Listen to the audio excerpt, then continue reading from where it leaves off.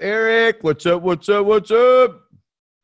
So now, last night I was I was sitting there talking to Kamikaze, and I said, you know what? I said, for some reason, I'm getting this itch to maybe want to maybe wanting to close a few more loans, pick up a few more loans. You know, I haven't done that in a long time. I haven't really originated too much.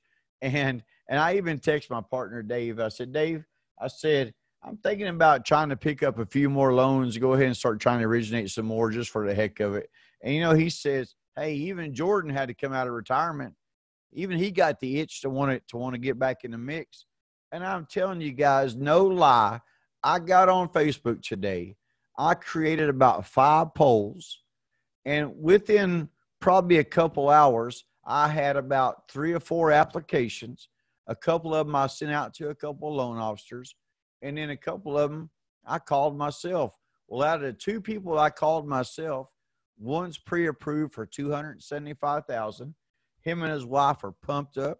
They're sending the documents. I think they're sending some documents in. I'm telling you, it's not rocket science. As a matter of fact, the simpler you keep it, the better off you are.